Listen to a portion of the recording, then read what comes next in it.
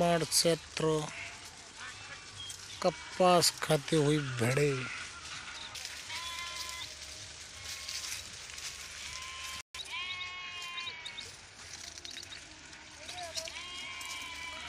बहुत लंबा खेत है।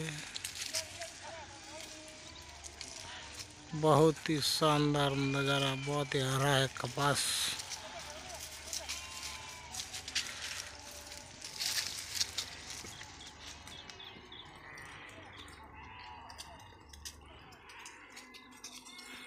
बहुत लंबा है।